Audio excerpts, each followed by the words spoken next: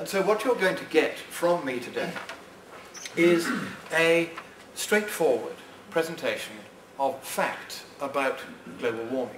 Each of these facts will be referenced. You will not find any references apart from to this rather ridiculous video on this sheet of paper, but you will in my presentation. It'll appear in a kind of brownish yellow colour on every slide where I got that information from. So you will be able to check whether or not, A, I have fairly represented the source of the information, and B, whether I have made a fair selection of information to put in front of you. And I'm going to begin with an admission. And that admission is, do bring more to the front if you like, we've got some room here. Um, and I'm very sorry that we have been, uh, well, I'm very pleased that we've got rather more people here than we had expected. But what I'm going to do is to start by making an admission. And that is that there has been global warming for 300 years, and I'm going to show you the proof. This is a brief history of global warming. And I'm very grateful to Professor M. I. Bhatt of the Indian Geological Survey, who has been advising me on the Himalayan glaciers, which he looks after, and he says they're all doing fine, by the way, uh, for this interesting result in climatological thermodynamics. And we also, on this side of the House, admit that there are real environmental problems, such as deforestation, for instance.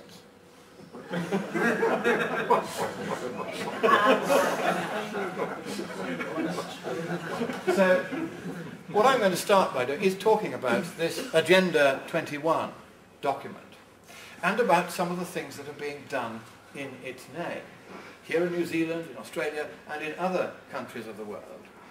And let's first of all look at the main points, which are either in the document itself or have been argued for by advocates of the document frequently enough to deserve a mention in this list. The idea is to put nature above man. Nowhere will you find any mention in Agenda 21 that man is part of nature too. They want to build a world government in the name of saving the planet from environmental disaster, particularly caused by climate change. They want to nationalize or abolish private property as being unsustainable. They want to ration the use of energy, particularly fossil fuels. They want to ration your right to move about freely. They want to ban all commercial farming, an interest to quite a lot of you here. They want to make sure that you do not breed livestock because they are unsustainable. They want to make sure that you cannot spray any pesticides or herbicides. And they want to make sure you cannot irrigate, irrigate your crops. All of these are policies being implemented now in various parts of the world in the name of Agenda 21. They want to pen humans in settlement zones, or as I bluntly call them, concentration camps. And you may think, am I being extreme here? I'm going to show you evidence of these points. Likewise, they want to destroy families as unsustainable, and their chosen methods, of course, are baby butchering, as Senator John Madigan of Australia calls it, and also contraception, which in most of its modes of operation is also abortifacient. They want to cut the world population very substantially. One billion is one of the figures they mention. And they want to ban religions also as unsustainable. Now, some of these points you will find in the Agenda 21 document. Most of them you won't, because the document itself is written in kind of UN Gasport language, so that anyone who wants to take advantage of it can pretty much impose their own view upon it. And we're going to look at some of the views that are being imposed upon it. First of all, here is this gentleman, Harvey Ruvin.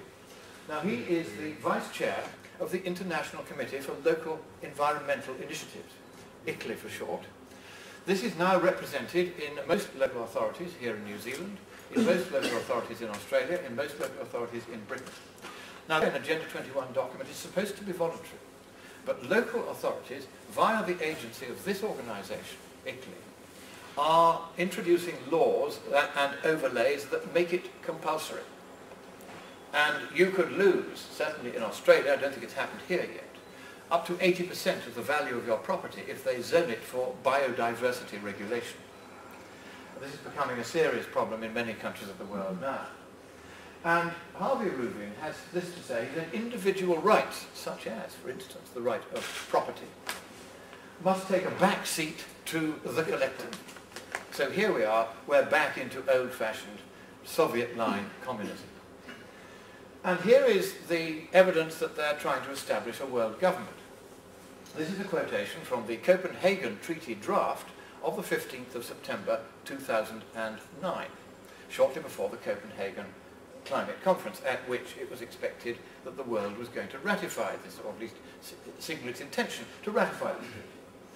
And it talks very clearly of a government and it talks of a facilitative mechanism, which is UN speak for the government's ability to enforce its will over the elected governments of the world, and also a financial mechanism, which means an unlimited power of taxation over individual countries. They were going to impose, for instance, a 2% tax on every financial transaction in the Western world, which would have brought all the financial markets crashing, because of course they, they operate by continuous in and out trading. 2% on each of those would bring the whole system, and it was designed to bring the whole system to a halt. Now, this is a, a recent presentation by Bill Gates, who says that the only way to stop the damage that he says is going to be done from CO2 is to cut the world's population. His favourite figure is 1 billion, compared with 7 billion today. And I'm asking for volunteers to step forward and join the vaccination program by which he says he hopes to achieve this objective.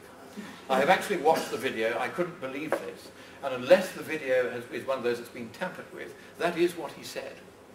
He said he wants a vaccination program to reduce the world's population to 1 billion. Ted Turner prefers a figure of 300,000, of which, no, 300 million, I'm sorry, of which no doubt he would wish to be one. Likewise, uh, there are others, such as Gorbachev, who says he would like the population cut by nine-tenths, leaving just 700 million on Earth. And he says that he would like to do this via uh, the anti-family policies of abortion and contraception. And here is some evidence for those who are trying to introduce concentration camps.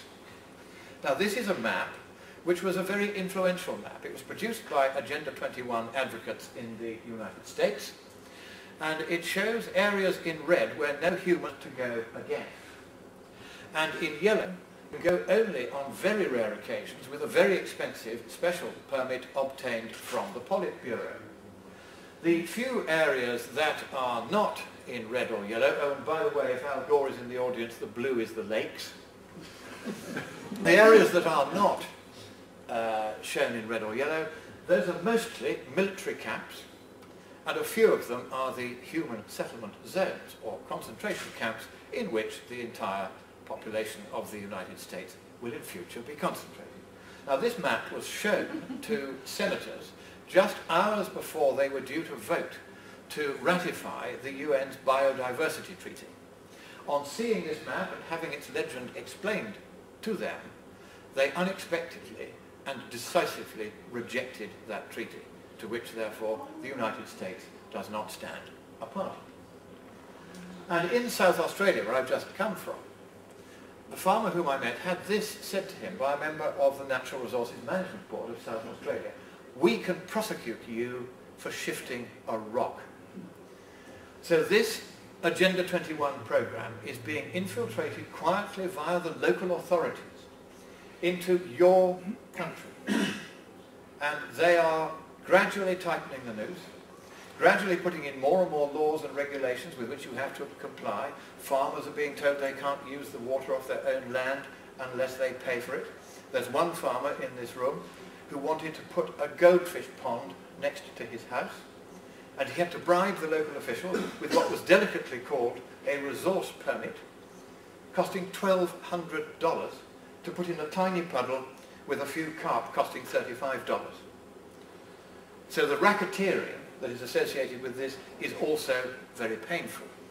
What he should have done, and I've told him this, is to fight it and not give in to it.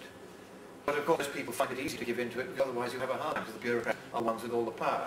So if anyone tells you that Agenda 21 doesn't matter, doesn't apply to you, it's a sinister plot got up by the right to try and discredit the environmental movement, well know that the, the document does exist and know that in its name, whether with warrant from the document or not, both the UN and other agencies all the way down to local authorities are introducing measures to regulate the environment in a manner which stood back and looked at it objectively in the round, as the Chinese used to put it, you would regard as simply lunatic if it were not so cripplingly dangerous to the future economic development of the West.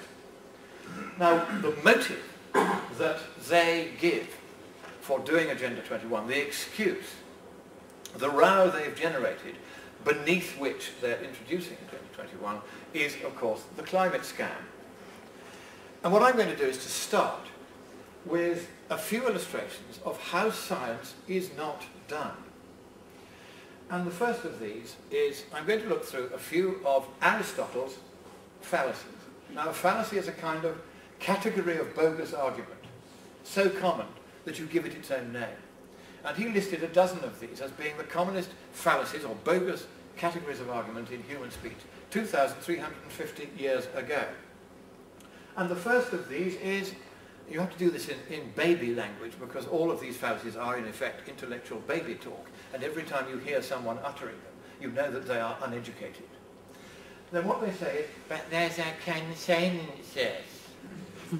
there's the argument from Plato, the head count fallacy, the medieval schoolmen gave all these fallacies Latin names, the argumentum ad populum, is a fallacious argument. Just because you're told a whole lot of people say they believe a thing to be true, doesn't mean there are a lot of people, still less that they say it, still less that they think it, still less that even if they are, they are thinking it, that it's true.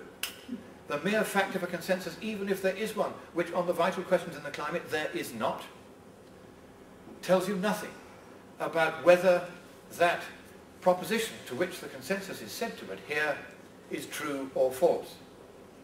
Ah, but they say it's a consensus of experts.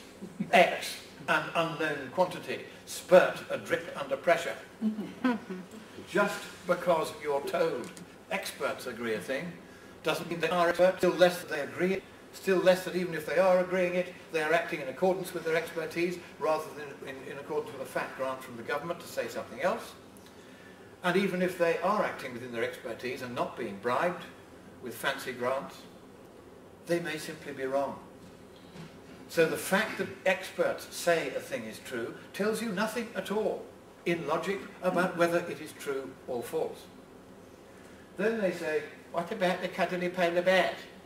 polar bears are not cuddly.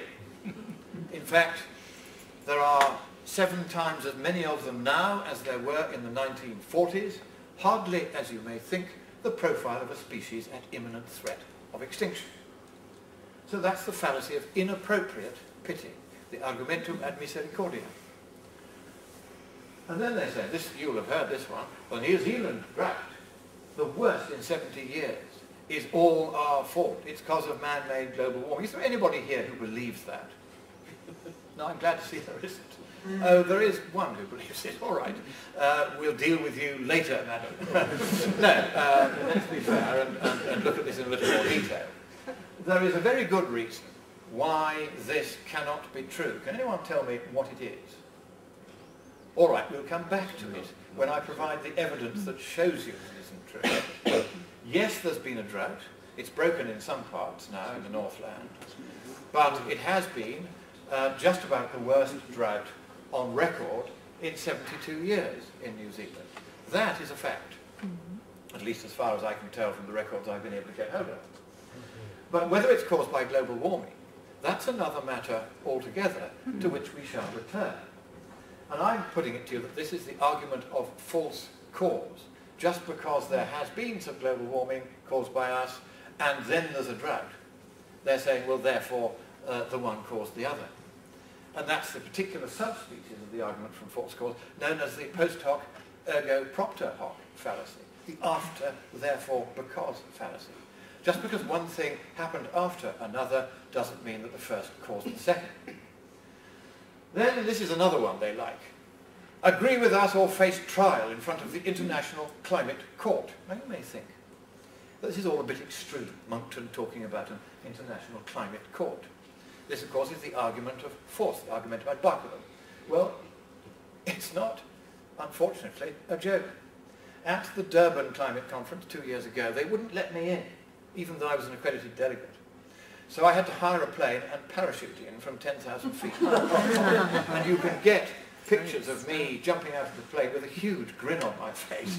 As I've never done this before, incidentally, and I'm not sure I'm ever going to do it again. But it was a very interesting experience. And as a result, they then couldn't really keep me out. So I got hold of the draft final negotiating text, which was available freely to the press and to the accredited delegates such as me at the conference. There were 2,000 pressmen there, not one of whom reported any of the points that occurred in this final document.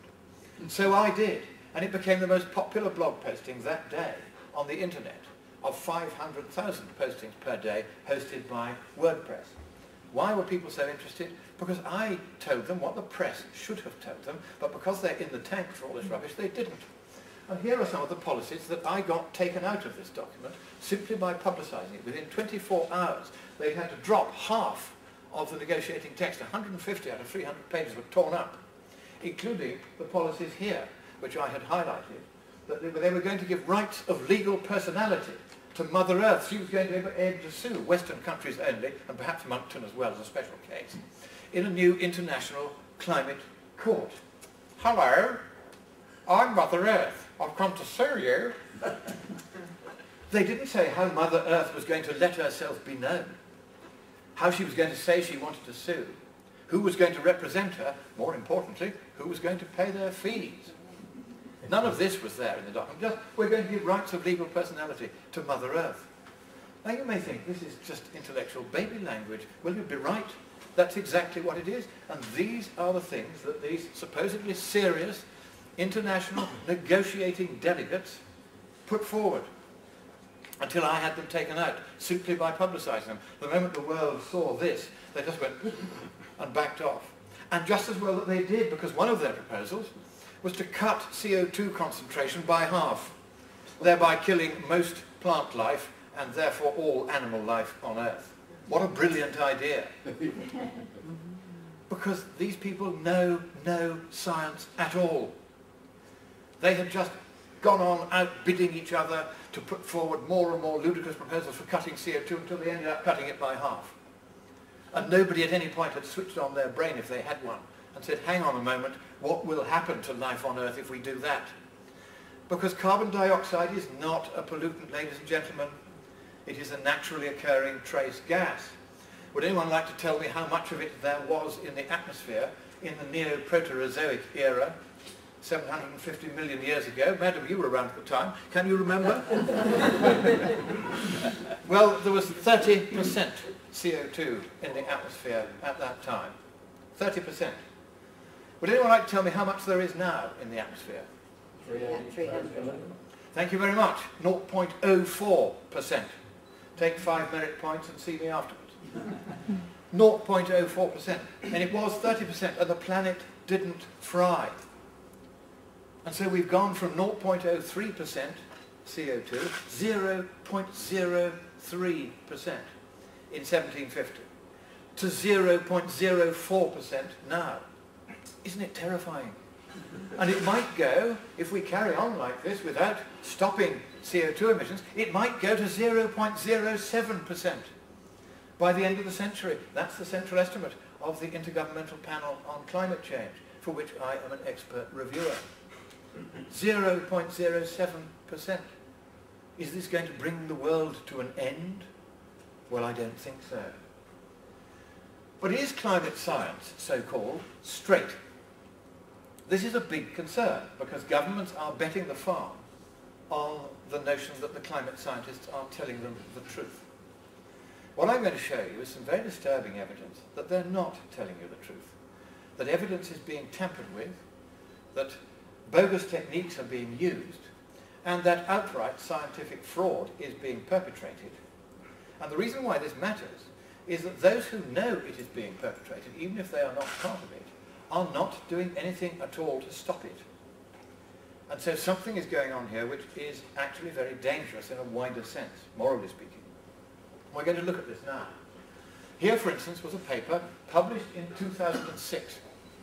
And what it shows is that, as you can see, there was a fairly low level of hurricane and tropical cyclone activity around the world. It's, uh, not tropical cyclone, just the hurricanes, category 3, 4 and 5. uh, landfalling hurricanes in the Atlantic, and then you get this huge increase here, which the paper said was because of global warming. Now, how might we check whether this was right? Anyone? We might look a little bit further back in the record. Shall we do that? That is what was published with the conclusion that this indicated a huge increase in uh, activity of hurricanes in the Atlantic. And that was the truth. there was no basis for that paper at all, because that was the truth. And we'll look at the extent to which hurricane activity is increasing a bit later on. Here, for instance, is New Zealand getting at it. And your Climate Science Coalition here, trying to oppose some of this nonsense, actually took them to court for tampering with the evidence in this way. The green data there are what are called the raw or unadjusted data from the thermometers. You measure the thermometer figures, you write them down, you take their average at the end of the year all over New Zealand, and that gives you an annual figure for the mean temperature in New Zealand.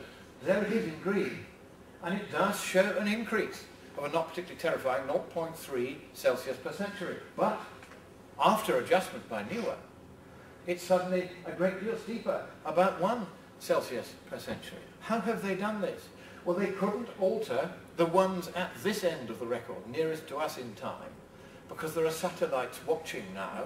So these terrestrial records measured with thermometers on Earth, they can't cheat and alter them anymore. So they altered them at the other end of the record.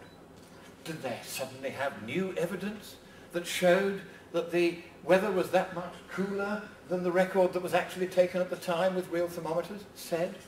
Of course they didn't. They made it up. And, and here is the truth of it. There, if you rebase all these uh, figures to a, a 30-year period, take the average of that period, you then get the individual years anomalies up and down on that line. There is no trend. And here again, you can see a, a paper analysed this in 1993. And you can see that the blue results from the paper correspond quite closely to the green results from the raw or original data, and the red was what NIWA did to it. And here again, this is the Environment Department. You are paying good money to them to tell you that if you get drier weather, there will be less rainfall, and if you get wetter weather, there will be more. gosh. And in, yes, gosh, you're paying them, I'm not. And then there's the uh, temperatures in Australia. They've been at it there too. And you see here, the actual trend of temperatures at what is now Darwin Airport since 1880 has been downwards. That's the raw data from the thermometers. And they've corrected them this time with a rather interesting series of step changes in the middle of the graph, so as to make it look as though actually there's been a very rapid rate of warming. And this is in the United States. Since the 1920s in the United States, there has been a decline in surface temperatures over the United States on average. But that's not what they declare to the Global Historical Data Network, from which the official terrestrial temperature records are compiled. That's what they do declare. And look if I flash between the two you'll see that yet again, there's not much change at this end of the record where the point of the arrow is, because they can't tamper with that because we have accurate satellites measuring the temperature now. So once again, they've messed around with temperatures in the 1920s and 30s to make it look as though they were a great deal less then than they were measured to be at that time. So this is happening all over the world. And we'll ask why it is in a moment. Then, in a category of his own for bogus science, is Albert Arnold Gore. Here, for instance, is what he said in a radio interview in 2007.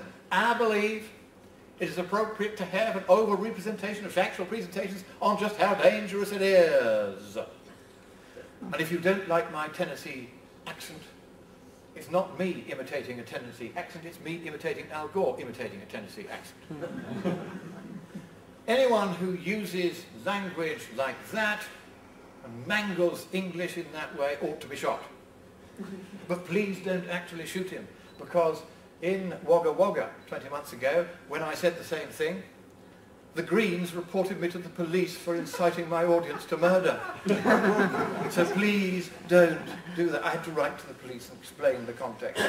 And they very, very nearly arrested the Green irresponsible for wasting police time. But uh, this is how extreme, and uh, they're now desperate. They can see this falling around their ears. They are worried. And so you get some wonderful absurdities. I was in Tasmania just uh, a few weeks ago, giving a talk at the university. And a large number of scientists from the UN's climate panel came along. And I happened to mention how interesting it was that the leader of the Greens in Australia for, for many years had his office directly on the seafront at Hobart in Tasmania, just where the rising sea level would get him. and I said there'd be poetic justice if it did rise, and it did get him. And there was a green at the back who said, oh, just one moment. He said, why do you always get everything wrong, Monckton? You've been thoroughly discredited, because I'll tell you what the truth is. The truth is that his office is on the first floor. and so then there is Al Gore's poster, publicity poster, for his mawkish sci-fi comedy horror movie, which your children and grandchildren are made to watch here in New Zealand and it's been discredited over and over again by no less than the High Court in Britain, which found nine serious errors. But let's just look at this poster. Can anyone tell me what is wrong with the temperature graph that's shown on there? Part of it goes backwards. Yes, exactly. Time doesn't run backwards, Al, baby and this line wasn't drawn by a computer or a meteorologist or a climatologist. It was drawn by a PR person, just like the rest of the movie. And then he exaggerates sea level rise. Now, as an expert reviewer, I can tell you that the IPCC's view is that we might see 43 centimetres of sea level rise over this century. I think that's a huge exaggeration, but that's the official thing, of which only six centimetres will come from melting ice. But Al Gore knows better. Because if you can produce a figure bigger than that of the IPCC, as here, a hundred times bigger, that's all right, that's the consensus. If you're going to say, like me, well, we might see only five centimetres in total of sea level rise, perhaps 20 at most, and maybe it might even fall a little over this century, then you're going the other way, then you're not part of the consensus. But he can exaggerate a hundredfold, and that's part of the consensus. You see how silly this is? And he didn't even believe his own forecast, because in the year he was making this movie, 2005, he spent $4 million on a condo in that tower on the left there, at point A on the map. And the blue area, if Al Gore is in the audience, is the allegedly rising ocean. As he must have known, because the address of the building is Fisherman's Wharf, San Francisco. then he says, oh, polar bears. This is one of the great poster children for global warming, isn't it? Polar bear, oh, the cuddly polar bear. Well, he cites only two scientific studies in his entire presentation. You'll see that I do rather better than that as we go through this. He cites only two. One of them is Monnett and Gleason, 2006. And he says a scientific study shows for the first time that they found in polar bears that have drowned, swimming long distances up to 60 miles to find the ice. so what did the paper say? Shall we have a look? It said that four polar bears had been found drowned, three of them right next door to the coastline, the other one a bit further out. Had they drowned because of global warming? The paper doesn't say that. It says that maybe one day, if the ice all melted away, they might have to swim a little bit further. But it said that hadn't happened yet. It said that these four polar bears drowned because they were swamped by high winds and high waves in a big storm. As we climatologists put it, shit happens. Nothing whatever to do with global warming. And in fact, in the Beaufort Sea, if you were Beaufort Sea up there, in the Beaufort Sea, in the dozen years preceding the making of Al Gore's movie, there had been no decline in the extent of the sea ice that the polar bears wanted to clamber onto. It had gone up. So there was no point of contact with the truth anywhere in Gore's story. And the judge had quite a lot to say about that, as he did about the sea level point I showed you earlier in the High Court. He said, I'll do it in the, in the custard-faced voice they all use in the High Court the Armageddon scenario that he depicts is not based on any scientific view. the Armageddon scenario he depicts is not based on any scientific view. And there was this picture, and this was accompanied by dreary music, and a, a voiceover saying that the polar bears were having this iceberg melting beneath them, and that was the last iceberg in that area of the ocean, and they would all drown, and the kids in the audience blub every time they see this. Mm-hmm. And your kids are being shown this. And what's the truth? The truth is that this picture, which occurs in, in the book of his movie, was actually taken by a passing tourist in a cruise ship hundreds of yards from the shore.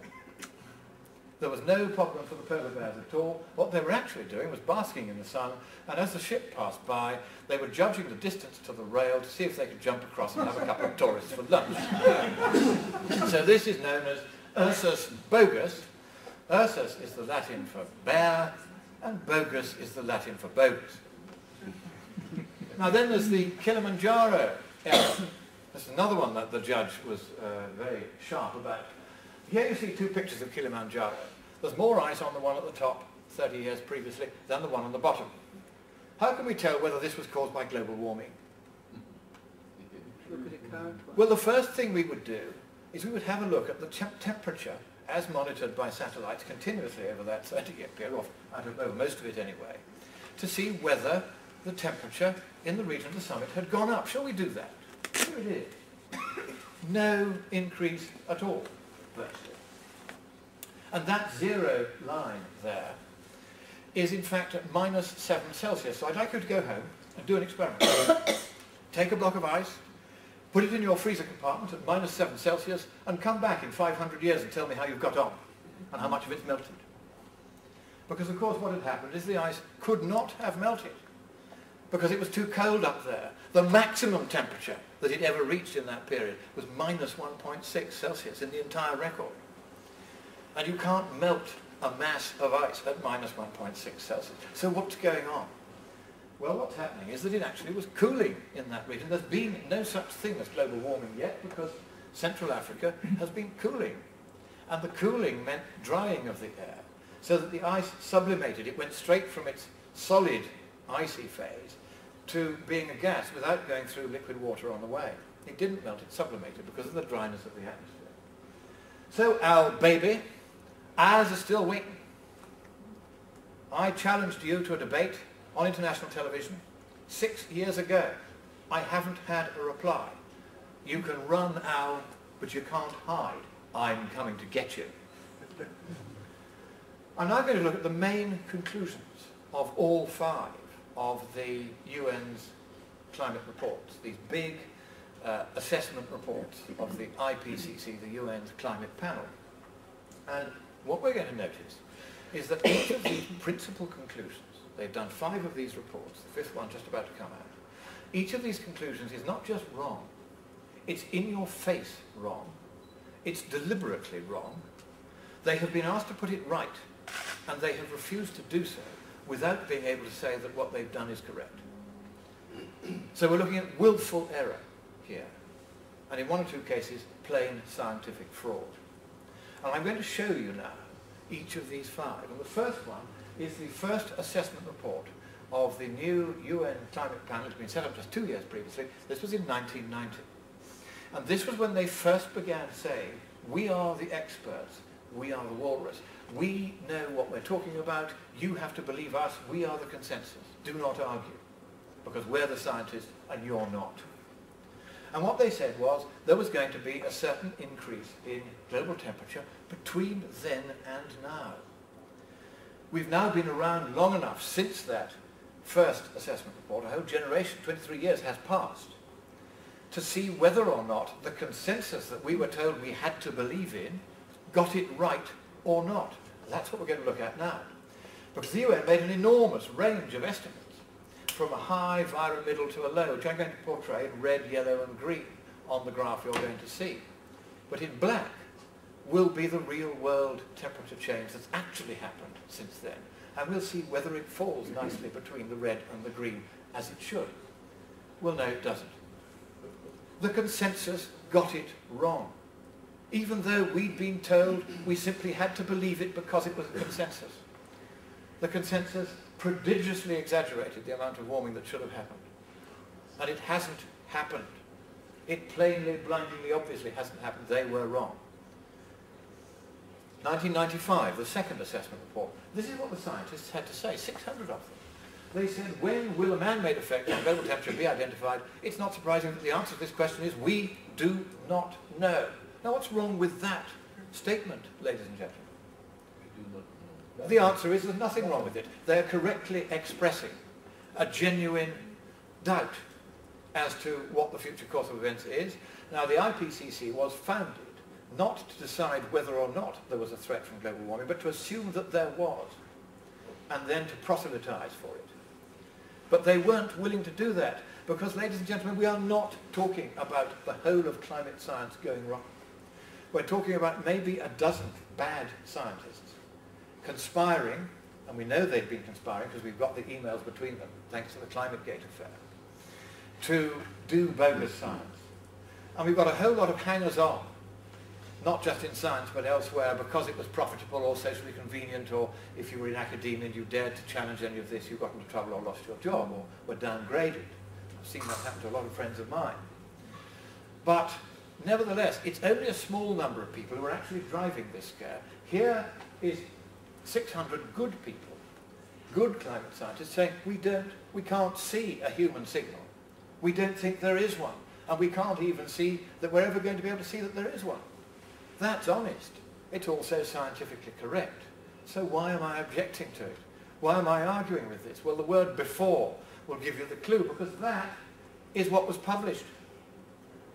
And it says the body of evidence now points to a discernible human influence on global climate.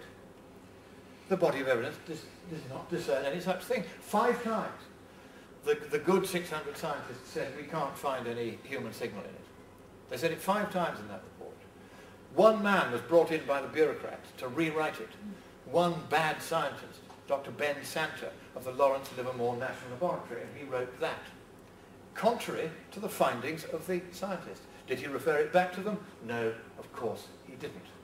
A few of the lead authors who were in the know were told about it. The rest were kept in innocence until they suddenly saw when it was published that what they had concluded was not what was stated, but the precise opposite, that there's now, so it was said, a discernible human influence on global climate. So if anybody tells you there's a consensus, then know this. First of all, the consensus got it wrong in the first assessment report, and this time the consensus simply was the consensus of just one man. That's no consensus. That is scientific fraud, ladies and gentlemen.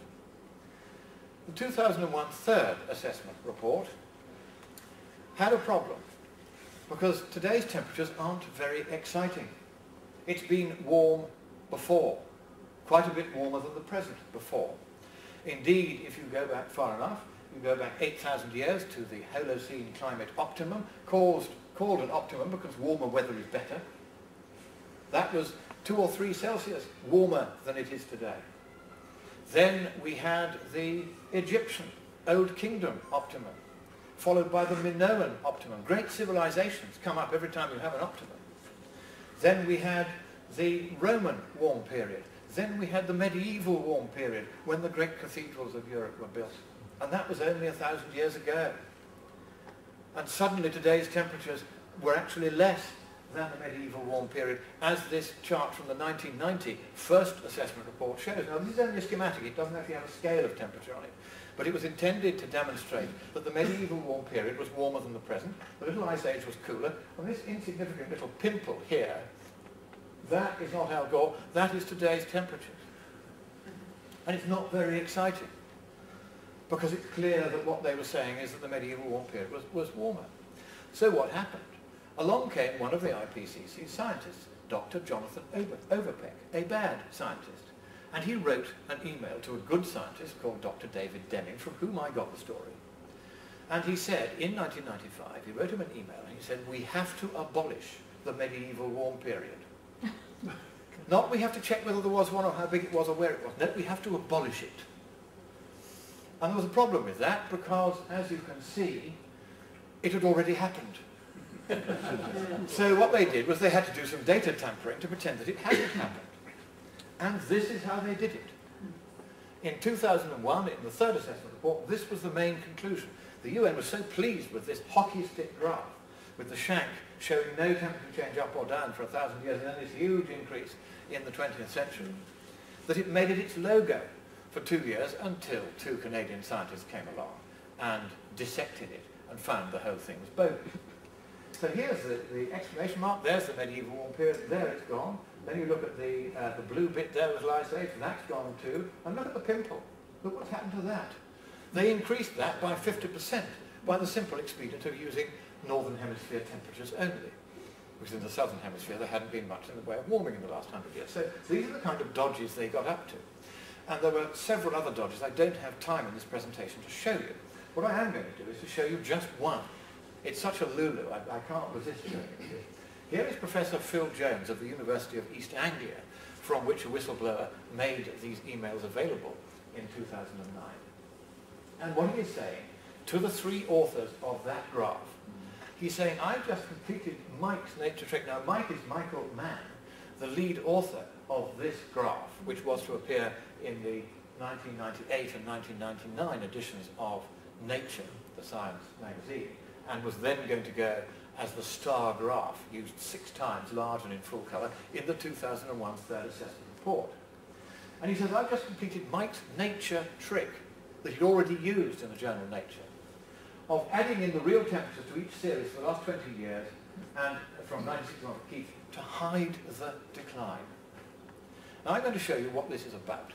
What it's about is this, that in order to reconstruct the temperatures before the red bit, the last hundred years, when we had thermometers, they had to find some way of doing it. There are lots of ways of doing it. The way they chose was to look at the widths of tree rings from bristlecone pines. That was their chief source of data. They did use other sources, but that was the main one. And they said that the rings would be thicker in warmer weather. And so you could uh, do a dendrochronology series, as it's so. You get a series of overlapping tree ring uh, things you slice through different trees of different ages, compile a series, and you can reconstruct the temperatures from it. That was the idea. The wider the tree rings, the warmer the weather. But the UN in a previous report had said, don't do it that way. Because with bristlecone pines, the tree rings will be wider. The annual growth of the tree that year will be wider, not only if it's warmer, but also if it's wetter, and also if there's more CO2 in the atmosphere. It will distort the results. So don't use it. But of course, when the UN saw this wonderful graph, which was exactly what it wanted, uh, it said, oh, we, won't argue about that. Oh, it's splendid. Oh, we'll, we'll put this six times in full colour and they expect people to take them seriously. so what they did to hide the fact that, you see, they had a problem, and that is that from 100 years ago until now, we've had thermometers measuring global temperature change, as well as the tree rings. And so, of course, if you wanted to use tree rings as a basis for saying that you've reconstructed today's temperature successfully, you would naturally want, wouldn't you, to check that during the period when the two records, the tree rings and the thermometer measured temperatures overlapped in the last 100 or 150 years, you'd want to make sure that they fitted. Because if they didn't, that would tell you that tree rings, particularly from bristlecone pines, are no use for reconstructing past temperatures, and therefore that that graph was completely bogus and useless. So they had to make sure that the two matched, and we're going to look and see whether they do.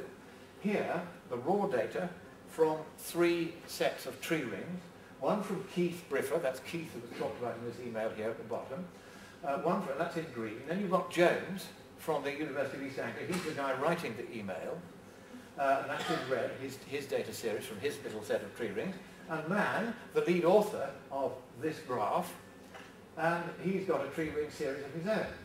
Now they all come forward to the present. The first thing you see that from 1850 onwards, they're all jiggling about in different directions. You don't get a particularly good match to the actual temperature record, which starts in 1850 and is shown in black.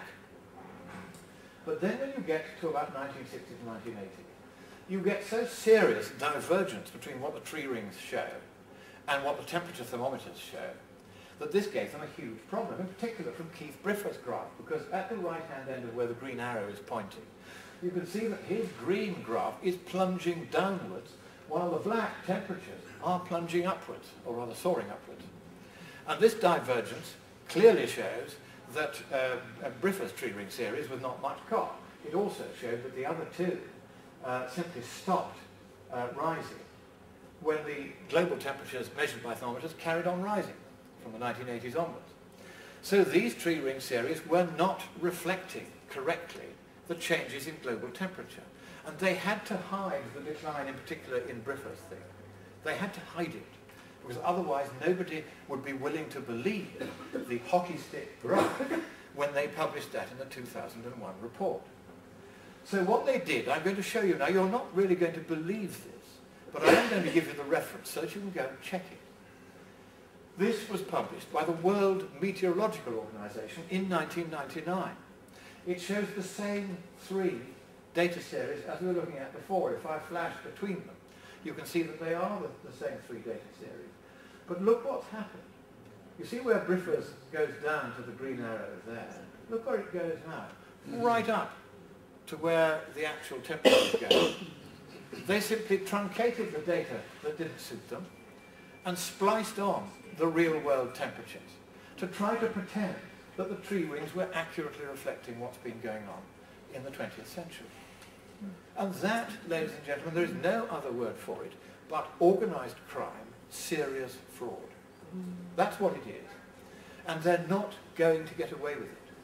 Because there's a group of us now that are compiling items like this, which you could put before any jury and ask them to vote on whether they thought that that was straight or whether it was fraud, given how much is resting on this.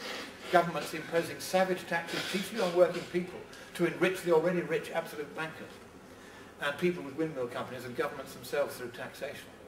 The ordinary working man is having to pay for this, the farmer, the miner, the fisherman. A, there are serious consequences of tampering in this way. So now I'm going to uh, put this to the jury. You are the jury. I've presented the case. You've heard the case from the other side that this is all correct. but here's the tampering that I've now demonstrated very clearly. I'm going to ask you, ladies and gentlemen, to vote. Hands up those who think that that is serious fraud. and hands up those who don't. I see no hands. That is a unanimous conviction, ladies and gentlemen. Now, I do this because you're a little bit late. You have to stay awake in these presentations. Um, and you, are in contempt of court for being late. So, there you are. Of course it's fraud, because they made a lot of money out of this. Michael Mann is still making a lot of money out of it. What's more, they caused losses to other people. You don't have to make any money for yourself or your mates in order for it to be a fraud. If you cause loss to other people, it's still a fraud. That's how the legal definition works. And that tampering, which is deliberate, willful, dishonest, that is fraud. And thank you, ladies and gentlemen. I can now discharge the jury and continue with the rest of the presentation. Here you can see it more clearly, so there can be no doubt as to what I've been showing you. You can see all three of the different colours go all the way up to the top there if you look carefully. A complete distortion of the truth, which is over there on the left. And the next question is, was there a medieval warm period? Just because they tampered with things to try to suggest that there wasn't, doesn't mean that there was. So we have to look at the, uh, the actual climate science. And I sent in, as part of my review of the forthcoming fifth assessment report, which is trill, still trying to pretend that the medieval warm period, if it existed, wasn't warmer than today. I've sent them a list of references, detailed references, to 450 papers in the scientific literature compiled between them by 1,056 uh, scientists in 605 institutions in 44 countries, saying that the medieval warm period was real, was global, and was warmer than the present. That's what the science actually says. There are a few dozen papers, it is true, done chiefly by climate modelers, trying to pretend that there wasn't a medieval warm period, but they're all following methods as questionable as those of Mann, Bradley and Hughes in the hockey stick graph. So there was a medieval warm period. We know it from archaeology, we know it from history. We know it from the north window of Amiens Cathedral, where they show wine being grown in the region. You can't grow wine there now. We were growing wine uh, up in Scotland at that time. You can't do that now. We know that in, in one of the villages near Hvalsey, the main uh, Viking settlement in Greenland, there is a burial ground, but it's under permafrost today. It wasn't under permafrost when they were buried. We have all these archaeological indications. We have all the indications from these hundreds of papers. And yet, they say, with staggering arrogance, we're going to ignore the literature, which is our job to review, and superimpose a preordained or a prioristic opinion. Mm. And that's not science. Now we have the 2007 fourth assessment report. And this one is also truly remarkable. I'm rather pleased with it because I discovered this one. Now what we're going to do is to show you this. Who knows what it is? Sine wave, thank you very much. What is the trend of a sine wave? Just like that. No trend. No trend, thank you very much. Quite right. A zero trend. Five merit points again. Quite right. No trend. But if we just take this down, up, down segment of it here, if I choose my starting and ending points carefully for my trend line, there's a downtrend. So, was the Honourable Gentleman at the front here wrong? No, because the trend of a sine wave is zero by definition. There is no argument about it that's at all possible. And yet, we have a downtrend because I've chosen where to start and end my trend line so as not to reflect the true position. I can do it again. And look, if I start a bit nearer to what we might call the present, I've got an even steeper downtrend, and steeper still, and steeper still. And that's bogus, because I'm choosing where I start and end my trend lines, and then I can draw all sorts of conclusions. And in this case, it's not just descending, but ever more rapidly descending. That, of course, must be rubbish, because we know that the trend is zero. But this is what you can do, tamper, tamper, tamper, and tamper. And then if I shift the whole sine wave half a cycle to the left or right, each of these trend lines, incidentally, is correctly calculated. They're all correctly calculated, but you can't draw the conclusion from them that we are being invited to draw. You shift it all half a cycle left or right, and look, we've got the opposite result now, because I've chosen different start points and end points in relation to the sine wave, and now we've got it rising ever more rapidly. So not only do we know it's a zero trend, reason one why this is a bogus technique, but we also can obtain opposite results by choosing very carefully where to start and end our trend lines. Reason two why this is a bogus technique. Now you say, what's this got to do with the climate? Well, this is what we mathematicians call a heuristic. It's an example from an area where we know a great deal about the data. We know that it's a zero trend. That's why we take the sine wave. And what we're going to do is to see what they do with this technique because there is a, a, temperature record since 1850, a global temperature record compiled by the Hadley Centre. It's regarded by the UN's climate panel as the gold standard for temperature measurement. As we've seen, it depends on some highly questionable submissions from New Zealand, from Australia, from the United States and other countries, but nevertheless, it's the official record. And I'm going to show it to you in grey, but you're going to see what they've done with it. Look, they've even used the same colours I have, ladies and gentlemen. They have used the same bogus technique to try to say, and they say this twice in the report, the 2007 fourth assessment report, they say that the rate of increase in global warming is accelerating. Global warming is, is accelerating ever faster, and we are to blame. And they draw that conclusion from these trend lines, the yellow one being steeper than all the others, and being nearer to the present than all the others. And they've used that bogus technique now I thought, but this is science. I, I don't expect the several thousand scientists who contributed this, to this report to allow this abortion into the document. So I went back, being an expert reviewer, and had a look at the first draft. I wasn't an expert reviewer at the time, or I would have shouted blue murder at this. But it wasn't there when the expert reviewers looked at it, because this was what the scientists had submitted. They'd submitted the entire record, the yellow areas either side of little blue line are the uncertainty bars, the, the error bars, because we, we can't measure with great certainty. It gets a little bit better towards the, the present, but obviously there are, there are uncertainties in the measurement. So this, this is correctly shown, and they've got a single trend line there, which shows that there's been uh, warming over the entire period of 155 years at a rate equivalent to 0.4 Celsius per century. Not exactly terrifying. Not terrifying enough. Because once again, the bureaucrats got one scientist, and I think he was a New Zealand scientist. We are slowly encircling him, and eventually the police will be feeling his collar. And he's one of the lead authors of the, of the thing. And uh, he did this to it. And that, again, is scientific fraud. That is a very influential scientific fraud, because it's that scientific fraud that is being used at the moment in the United States to justify the bill to introduce a carbon tax. Because the Senate is being told by those moving the bill that the rate of global warming is accelerating and we are to blame. This is the basis on which they're saying it. But this graph has also been influential in the other direction. Because I showed this graph without even the explanation I've given you when I was giving testimony in front of the Ways and Means Committee of the uh, US House of Representatives, the most influential of all the committees of the House. Indeed, all the committees of either House, because it's the one that controls the purse strings. And the Republicans said they wanted me to give a five-minute presentation to the whole committee, but they wanted to be given a presentation to themselves privately first. I put up this graph and told them what it meant.